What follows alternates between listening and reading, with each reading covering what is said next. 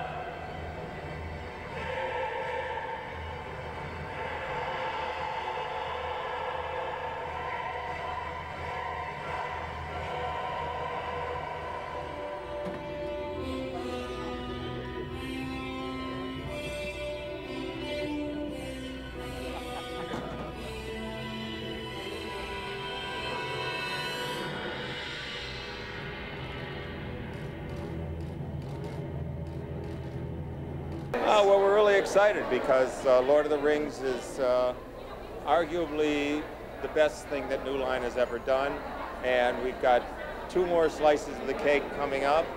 And uh, I think this video is going to be so fantastic. I know that uh, Steve Einhorn and all the people at New Line Home Entertainment have, have created a video that uh, surpasses anything that, that's around. This is a very special film that the marketplace has been waiting for for a long time. As you probably know, the film has done over $300 million in domestic box office and over 800 million worldwide. And beginning August 6th, 12 o'clock tonight, the uh, film is being released, and there is generally a release of the home video on a worldwide basis. Well, when we were looking around for natural partners to join with us in the uh, release of the home video in New York, clearly the Creative Coalition, that is a highly reputable, long standing, successful organization, was one that logically we would go to. And uh, we think they are an ideal partner for the launch of the film. This is going to be the first look at a 10 minute piece about the Two Towers, the next theatrical release. I'm a, a, a, film fan, a film buff, uh, a fan of Tolkien, and uh, looking forward to the DVD release, and I'm looking forward to the sequels. Creative Coalition is has a relationship with all the networks and studios, and we have a long-standing relationship with New Line. And the DVD release at the Boathouse here in Central Park was just a great New York way to bring, you know, Tolkien and and, and the Creative Coalition, New Line together in Central Park at the Boathouse for the DVD release. In in uh, you know, at the same time, if we can, you know, generating generating a little hype about the DVD release, if we can raise some awareness about the Creative Coalition and the work that we're doing, then cool. Anything with this man in it, I find appealing and alluring, even though I have no idea how to actually say his name. I think it's Vigo, but I'm not sure. Remember when he was just a little boo-boo? Remember when he was just a little baby? Sickeningly beautiful. It's actually unbearably pretty. He's amazing. It's a great film. You know, my son loves it, and uh, I watch it a lot with him. And I think it's a great epic in the in the, in the story of good and evil. I mean, I really think it. It's you know what it says about good and evil. It it's it gets gets to my heart, and I really like the movie a lot. Well, you know what? It, it reminds me of those great old time movies. It, it, just it tells a great. You know what? A story is everything in a film, and this movie here has a great story. A story that you want to see over and over again. And also, what's great about it is you learn things. You learn a le- you learn the lessons of life. That's why I think it's a great film. Anything I can do to help this studio, I will do. It took the most enormous courage to back and make and support uh, the making of this film. And it is seldom that, that virtue is rewarded, and in this particular case, the studio deserves all the rewards it can possibly get. They supported Peter Jackson magnificently. They saw his vision. They, unlike most studio execs, they actually read the script and read the book and thought about it and realized what a marvelous thing it was. I think because it works on a fairy tale level and yet it also works on a moral level and it works on just a visual level and it is certainly talented actors.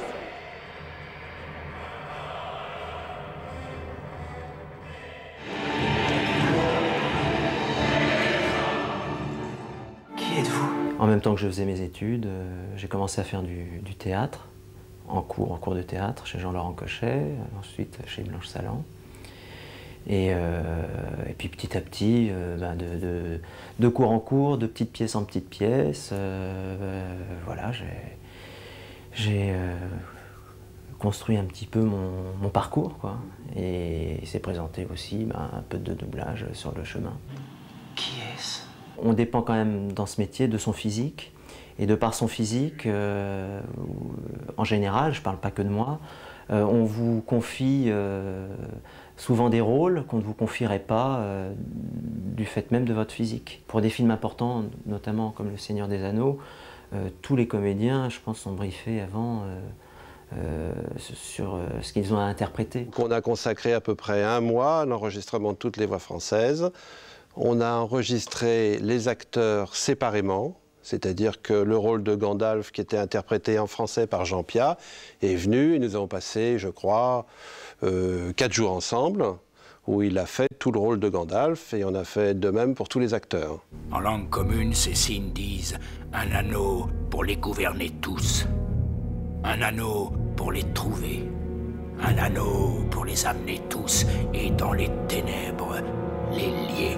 L'image, c'est un support primordial il faut que ce qu'on fait rentre dans l'image. Je crois que c'est l'expression qu'on emploie souvent, c'est faut, être dans l'image, il faut, que sa voix s'incruste dans, la bouche du, comédien euh, euh, originel. Tous ces acteurs étaient, en, étaient enregistrés chacun sur une piste, il a fallu monter la parole française conformément à la parole originale. Ce qui est le travail d'un monteur, qui n'est pas le mien, qui a passé, euh, je, pense, deux semaines ou trois semaines à remonter ces voix françaises parfaitement synchrones sur la bouche des acteurs euh, du film. Et ensuite, tous ces sons arrivent au mixage, c'est-à-dire chaque acteur se trouve sur une piste que je peux euh, que je peux baisser, que je peux détimbrer, que je peux timbrer, que je peux travailler. Euh, et mon rôle est de, de, réaliser le mixage en version française conforme au mixage en version originale. Vous attirez bien trop l'attention sur vous, Monsieur Soukoli.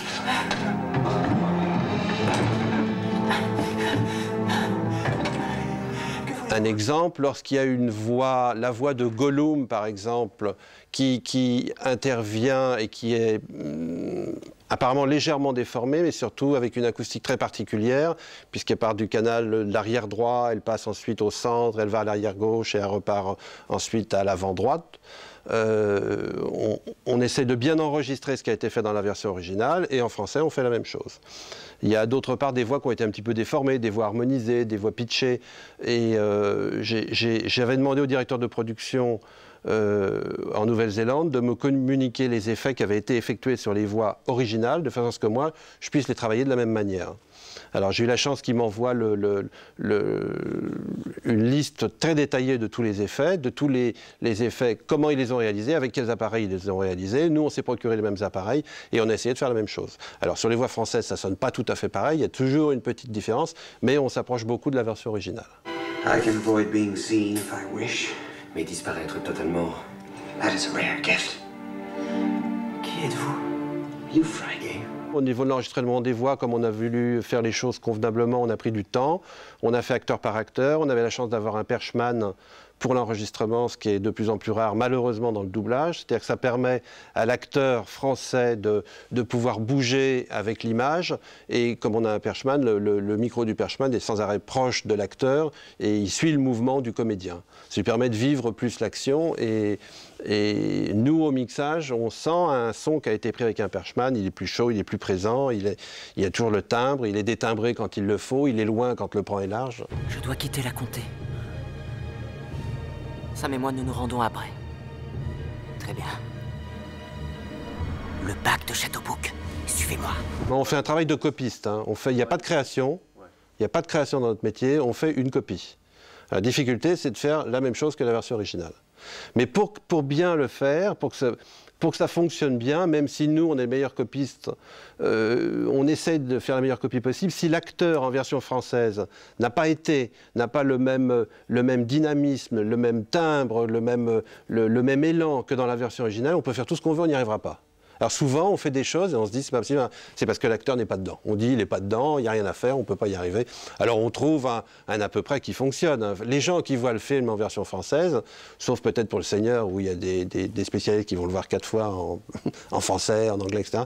Mais pour, pour un film qu'on voit à la télévision, on le voit en VF, donc on n'a pas on n'a pas moyen de comparer. Maintenant, avec le DVD, on a moyen de comparer, de passer à VO et VF. C'est pour ça qu'on a, nous, nous, on nous dit bien, et on est conscient qu'il qu faut qu'on soit parfaitement calé sur la version originale.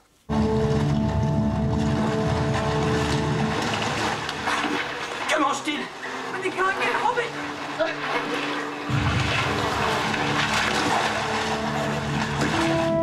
C'était pas simple parce qu'on n'avait pas une image de très bonne qualité.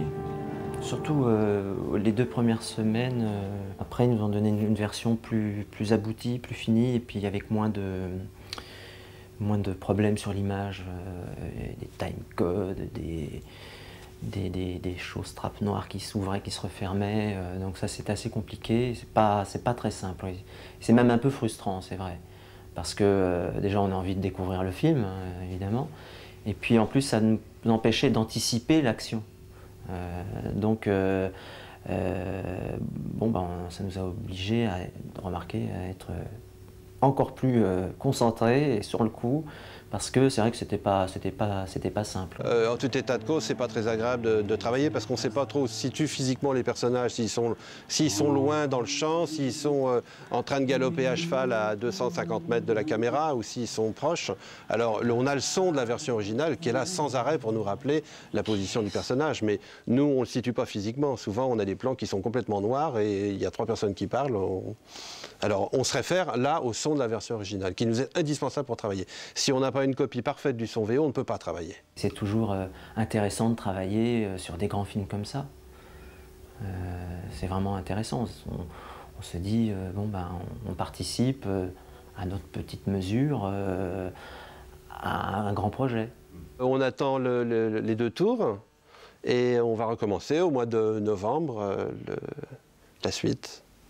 On, s'en réjouit plutôt parce que c'est un beau produit. On est, on est quand même fiers de faire ça. Puis on a du temps, surtout pour une fois qu'on peut faire un doublage dans très bonnes conditions, c'est satisfaisant. En tant que distributeur exclusif des films New Line sur euh, la France, on a cette chance de pouvoir participer très en amont à, la création des films et euh, ça nous permet euh, de pouvoir effectuer un travail beaucoup plus en profondeur sur tous les projets. Alors un film comme Le Seigneur des Anneaux est un événement plus qu'un film, c'est vraiment quelque chose de euh, fabuleux à vivre aussi. Ça demande deux ans avant le tournage, deux ans, euh, de tournage et puis euh, trois ans de sortie. Ce qui fait que quand même, on va s'y retrouver entre 5 et 6 ans sur une épopée aussi formidable.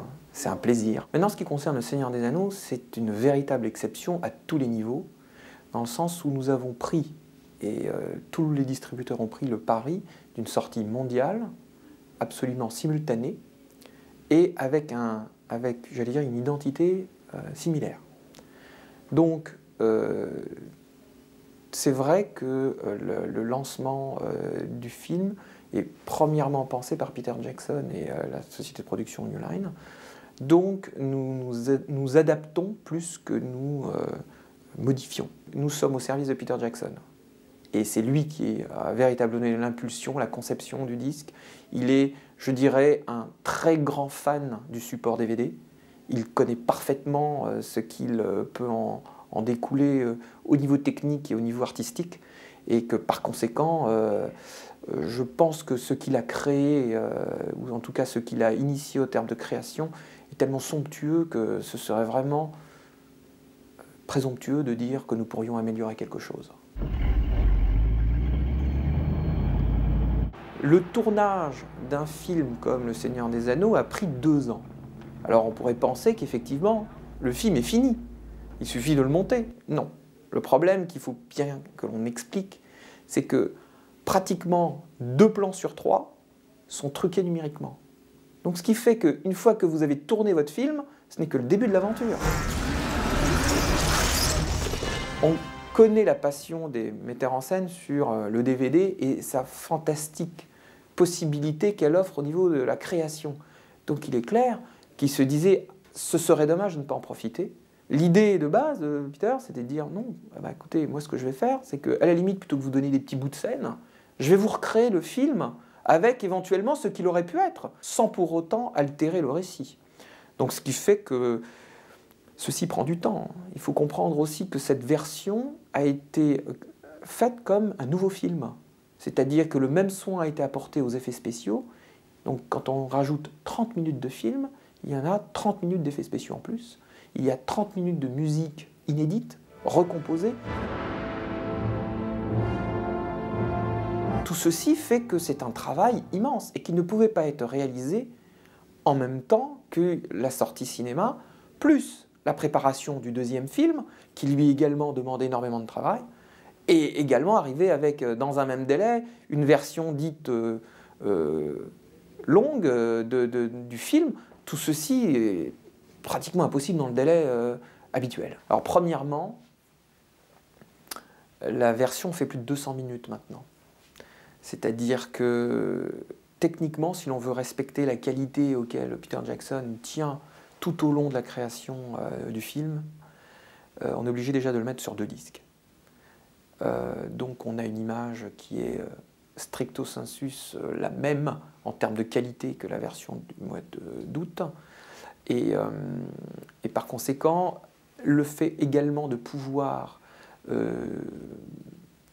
encoder le film sur deux disques nous a permis de rajouter à la fois un, je dirais, un- un- une qualité sonore maximale avec un DTS 6.1 et euh, également un Dolby Digital euh, 6.1 aussi. Le coffret qui sort dispose également de deux autres disques de bonus. Et je crois que si on faisait le total des bonus disponibles sur cette édition, il y en aurait pour plus de 30 heures. Je dirais que là, on a une véritable explication, une dissection de l'œuvre et de la manière dont elle a été faite. Donc, à partir de là, je crois qu'il y a euh, peu près 17 documentaires. Euh, il y en a pour plus de 6 heures de vidéo juste sur ces, sur ces éléments. Il y a euh, 4 commentaires audio, c'est-à-dire que là, on a à peu près tous les intervenants du film. Et là, vraiment, chacun nous donne son point de vue. qu'est-ce qui, s'est passé, comment ça s'est fait, quelles ont été les difficultés. Il y a un, une véritable euh, analyse de l'œuvre.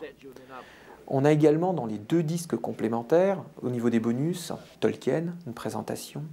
On a également euh, tout ce qui se déroule euh, au niveau de la post-production du film. Et là, il y a beaucoup, beaucoup d'informations qui sont données sur la manière de l'intégration des effets spéciaux, comment le tournage s'est déroulé, comment euh, on réalise une post-production numérique. Donc là, on a une véritable approche artistique de l'œuvre et de son processus créatif, ce qui est absolument euh, intéressant et, fabuleux quand c'est Peter Jackson qui vous l'explique. L'édition du mois d'août s'adresse, je dirais, au public le plus large et que, effectivement, l'édition qui sortira donc au mois de novembre mondialement s'adresse beaucoup plus aux fans parce que c'est des cinéphiles qui veulent effectivement euh, avoir plus d'informations sur le processus créatif, ils veulent avoir euh, plus de, je dirais, de légitimité dans, dans, la démarche de Peter Jackson. Le soin qui a été apporté à, à la création de, ce, de, cette édition est tel que le public le plus large retrouvera autant de plaisir, si ce n'est même plus de plaisir, à avoir une vraie, véritable leçon de cinéma. Comment Tolkien a-t-il créé les langues elfiques bah, Je dirais que c'est un hobby qu'il a, euh, a attrapé quand il était ado en fait. Dès l'âge de 13-14 ans, il s'est amusé à créer des petits langages, euh, avec sa cousine principalement. Donc, euh, et puis euh, cet hobby l'a poursuivi un petit peu toute sa vie. Donc je crois que ça a été un, des, de ses premiers refuges en fait, cette manière de se, créer un monde imaginaire. Et les langues elfiques, euh, il les a créées à peu près euh, à l'âge de 20-25 ans, quand il est rentré à la fac, à Oxford, tout simplement. Euh, auparavant, il avait créé déjà d'autres langues, certaines basées sur, sur des choses tout à fait futiles, des, comme des noms d'animaux. et puis ensuite, il a commencé à faire des codes sur l'anglais, en mélangeant l'anglais, l'espagnol, etc. Et puis en rentrant à la fac, il faisait des études de ce qu'on appelait à l'époque philologie. C'est pas exactement la linguistique, c'est quelque chose qui se rapproche un petit peu plus des études médiévales, comme à l'école des Chartes, ici en France. Donc euh, il était tout à fait, disons, au fait des théories au début du XXe siècle sur les, les, différentes langues. Donc il, a, il connaissait les outils pour, euh, pour savoir comment ça marche une langue et donc ça lui a permis de, créer les langues elfiques. Tolkien, en fait, imaginait d'abord les langues et ensuite il a imaginé les personnages et le monde qui va avec. Il a commencé donc très jeune, hein, il avait 15-20 ans, et puis ensuite il s'est dit que imaginer une langue sans qu'il y ait personne qui puisse la parler, parce qu'apparemment il n'a jamais eu ni l'envie ni la possibilité de l'enseigner à quelqu'un de son entourage. Donc il s'est dit, je vais imaginer un monde dans lequel euh, eh bien, euh, des elfes, puisqu'il a décidé de les appeler ainsi, euh, des personnages qui apparaissent dans la mythologie principalement scandinave, mais qu'il a beaucoup transformé et qu'il a mis, je dirais, tout à fait à sa sauce tolkienienne. Donc le fait d'avoir imaginé des langues pour ces différents elfes lui a permis ensuite de créer tout un univers autour et en fait un monde est né euh, de, de, cette création langagière, on pourrait dire. Alors disons les choses qu'on découvre quand on étudie les, langues elfiques et puis les autres langues, c'est que finalement elles ne sont pas aussi mystérieuses qu'on veut bien le penser de prime abord. Tolkien s'est très souvent inspiré de langues qui existent, c'est-à-dire qu'il ne les a pas copiées, mais pour l'une des langues elfiques qui s'appelle le haut elfique, il s'est beaucoup inspiré de la grammaire latine, tout simplement. Euh, en ce qui concerne les sonorités, là par contre, il s'est plutôt inspiré euh, du finnois, qui est une langue non indo-européenne, donc très différente du latin. Et puis pour une autre langue elfique qui s'appelle le gris elfique, là par contre, euh, pour la grammaire, il s'est inspiré de la langue galloise qu'il connaissait, qu'il parlait, qu'il aimait beaucoup. Et puis pour par exemple la langue des nains, qui s'appelle le Rousdoul, il s'est inspiré euh, bah, de l'hébreu en ce qui concerne la grammaire. Et puis pour, euh, je dirais, les autres langues, c'est déjà un petit peu plus compliqué parce qu'on a beaucoup moins de données, beaucoup moins de mots. C'est assez difficile de savoir de quoi il s'est inspiré. Il est possible que pour euh, la langue des Valar, les Valar ce sont les, dieux, on peut dire, du, panthéon tolkienien, il est probable qu'il s'est peut-être inspiré de la plus ancienne des langues connues, qui est l'acadien, qui est la langue qui était parlée dans la région d'Acadie et puis ensuite plus tard à Babylone. Donc ce sont des noms très étranges que j'essaierai même pas de prononcer ici tellement elles sont bizarres. Le futur, disons, va certainement prendre deux chemins. Ce qui est assez extraordinaire, c'est qu'apparemment, que ce soit les fans ou les gens qui ont simplement vu le film, sont excessivement intéressés par apprendre ces langues. ce qui il y a encore quelques années n'était pas le cas. Il y a beaucoup, beaucoup de personnes qui ont envie de les apprendre. Donc effectivement, je pense que petit à petit va se créer une véritable communauté de personnes qui vont essayer de parler la langue elfique. Mais euh, disons, étant donné que beaucoup d'inédits restent encore à apparaître, je crains malheureusement que, comme pour euh, les langues naturelles, ce qui va se créer, c'est-à-dire des dialectes vont naître, c'est-à-dire certaines personnes vont créer leur propre langue elfique ou néo-elfique ou pseudo-elfique ou elfique moderne de leur côté, ce qui a déjà commencé effectivement sur Internet. hein. Il y a déjà des sites qui s'inspirent des langues de Tolkien. Alors quel sera leur avenir, c'est difficile à dire.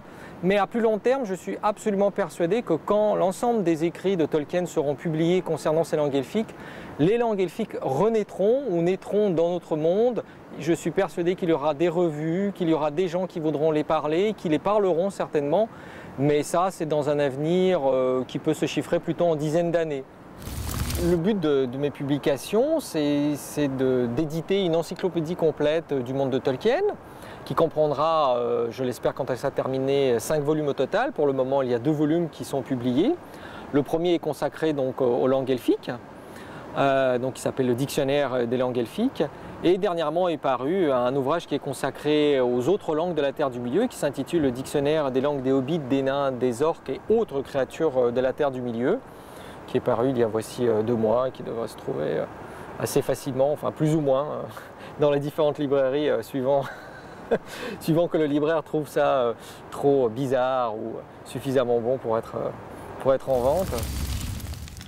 Moi, je pense que, que Tolkien est un grand écrivain. C'est un homme qui, vous savez, s'il était professeur de littérature anglaise euh, euh, du Moyen Âge, c'était un grand linguiste.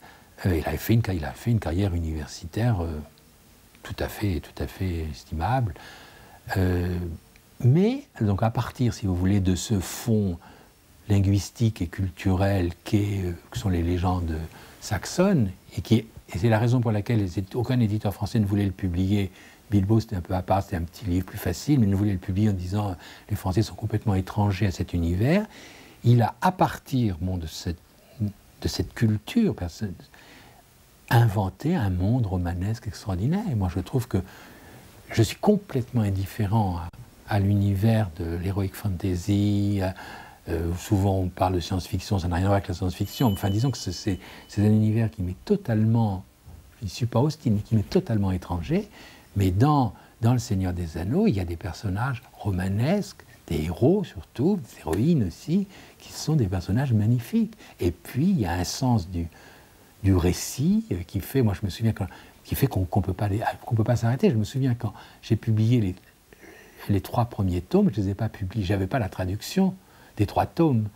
Donc j'ai publié le premier, puis le second, et je me souviens d'un- d'une lettre de, de Régine de Forge, déjà très amie à ce moment-là, me Christian, ah, qu'est-ce qui se passe dans le tome 3 Parce qu'à la fin du tome 2, il y a, la- les héros entrent dans la forteresse de Mordor, il y a la porte qui leur tombe dessus, donc il y a un sens extraordinaire du, du suspense. Et si Tolkien, depuis, depuis 40 ans, a eu des millions de lecteurs, parce que c'est des millions et millions de lecteurs, on n'oblige personne à, à- à lire, euh, à, lire, à lire des livres, à lire un livre ou à aller voir un film.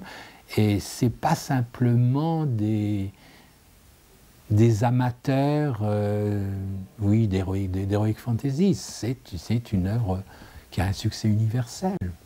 I think that's the, the great gift of that book, is that is the scope uh, of the world that he created and the way how easily and readily you're able to enter it, and and and now as I've I've read it from the point of view of adapting it, um, how skillfully he did that as well. Je connaissais pas l'œuvre de Tolkien, mais j'avais rencontré à la fin des années 60 un homme qui s'appelait Jacques Bergier, qui était d'une culture immense, qui avait inventé le Matin des magiciens et la revue Planète, qui n'était pas tout à fait mon univers, mais il m'avait fait publier un texte inédit de Lovecraft qui s'appelle Épouvante et surnaturel en littérature. Et donc on est devenus, non pas amis, mais enfin disons qu'on a entretenu des relations euh, très cordiales. Et un jour, il m'a proposé de publier, il m'a dit, il n'y a que vous qui puissiez publier ce livre, un livre qui était entièrement consacré à des auteurs totalement inconnus en France ou méconnus, qu'il appelle- qui a été réédité récemment et qui s'appelle Admiration. Donc c'est les admirations de Jacques Bergier pour un certain nombre d'auteurs. Et parmi ces auteurs, il y avait Tolkien. Donc, j'ai proposé à Jacques Bergier, une fois après avoir publié son livre, au moment de le publier, je dit pourquoi est-ce qu'on ne ferait pas une collection qui s'appellerait Mes admirations que vous dirigeriez? Si vous aviez 3-4 auteurs à me conseiller, en priorité, je crois qu'il y en avait 12, je lui dit non, 3-4 auteurs, qui me conseilleriez-vous? Il m'a dit Abraham Merritt, il m'a dit John Buchan, Howard et Tolkien. Bon, j'ai écrit à, la personne que je croyais l'agent d'Abraham Merritt, j'ai jamais eu de réponse. Euh, j'ai jamais eu de réponse pour, non plus pour John Buchan. Et j'ai eu une réponse de l'éditeur de Tolkien à l'époque qui s'appelait Allen Unwin. Et donc, quand je parle de hasard miraculeux, j'ai donc acheté les droits de Tolkien, du Seigneur des Anneaux, pour la durée de la propriété littéraire, alors que vous savez maintenant que dans tous les contrats qu'on passe avec les éditeurs ou les agents euh, anglo-saxons, les droits sont, cédés pour, euh, pour 10 ans au mieux, pour 7 ans, même parfois pour 5 ans. Et si j'avais eu un contrat de ce type, il y a longtemps que certains de mes chers confrères auraient fait des surenchères telles que j'aurais pas pu continuer à publier Tolkien. Donc, je me suis lancé dans la publication et j'ai versé 200 livres sterling d'Avaloir. Et j'ai publié le tome de Tolkien à une époque où j'avais de très graves difficultés avec euh, mon actionnaire, et qui était en même temps mon, mon, patron, mon employeur, qui était les presses de la cité, Sven Nielsen, qui, qui m'avait demandé d'arrêter les éditions Bourgois. Et donc j'ai. j'ai ça a l'air si je lisais ça en scénario, je ne le croirais pas, mais c'était le dernier livre que je publiais. Et donc j'ai publié Le Seigneur des Anneaux, le Thomas. J'ai à ce moment-là eu le prix de meilleur livre étranger. Ce livre avait été refusé par tous les éditeurs de Paris, y compris par Stock, éditeur de, Bilbo, parce qu'il y avait 1400 euh, pages à traduire. Alors Tolkien s'est vendu immédiatement à des milliers d'exemplaires, et puis c'est un livre qui, qui est monté, enfin les ventes sont montées, c'est un livre qui est monté en, puissance sur 30 ans, parce que j'ai commencé à le publier en 72, en poche, comme je ne pense, euh, à ce moment-là, c'était Jean-Jacques Pauvert qui a conseillé à Guy Scheller de le prendre en poche. Il est paru très vite en poche parce que moi je pensais que bon, euh, j'avais vendu quelques milliers d'exemplaires Seigneur des Anneaux et puis que ça allait s'arrêter, que c'était bien de prendre le relais en poche. Or l'édition de poche n'a pas du tout gêné l'édition normale.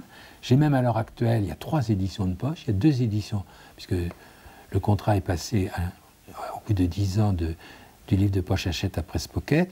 Donc il y a deux éditions dans Presse Pocket et j'ai cédé les droits euh, pour la jeunesse à Gallimard, il y a donc une troisième édition. Donc à l'heure actuelle, il y a cinq éditions du Seigneur des Anneaux, il y a une édition reliée à 50 euros, donc un prix relié, illustré. Il y a une édition euh, qu'on appelle compact, broché en un volume, genre style genre bouquin.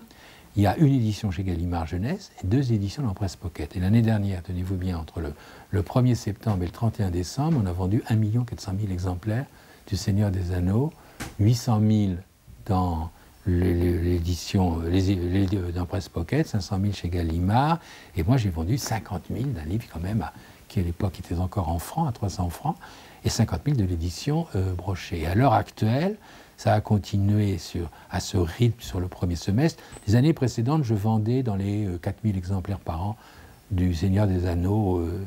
mais là, depuis le début de l'année, euh, à la date du 30 août, on a vendu presque 30 000 du, brochet, 20 000 du relier. Hier ou avant-hier, avant j'ai eu une commande de, de 9 000 exemplaires du relier, autant du brochet de la FNAC. Ça a été pour moi le chiffre d'affaires du jour le plus élevé depuis dans ma vie d'éditeur. Donc quand je dis le hasard d'une, je résume, le hasard d'une amitié pour, euh, pour Jacques Bergier et d'un succès auquel personne ne, ne un succès, je dis miraculeux, auquel personne ne, pouvait s'attendre. Um, the fact that the, the book is so well loved is always there in the back of your mind. Um, so uh, you have to, to balance, get the balance right between um, honoring the book and honoring great cinema and making a great movie. Alors quand j'ai appris qu'il y avait ce film, bon, je savais rien du metteur en scène, on ne savait pas grand-chose du film, euh, et les informations sont arrivées de manière alors euh, très importante, mais quelques mois avant la sortie du film, au, printemps de l'année dernière. Et là, à ce moment-là, j'ai commencé à avoir des informations, non pas par l'éditeur André Tolkien, mais par les gens, par les, producteurs, enfin les distributeurs en France du film, qui m'ont prévenu a un site internet s'était ouvert, qu'il y avait eu je ne sais pas combien de millions de, de, connexions dans les, dans les jours qui avaient suivi et qu'on allait assister, que ça allait être un phénomène incroyable. Et donc j'ai suivi, si vous voulez, à partir du printemps et surtout à partir de, septembre, j'ai suivi de, très près, là, mais en étant en même temps complètement en dehors de ça, euh, euh, la mise en place, euh, l'organisation du succès de, à venir.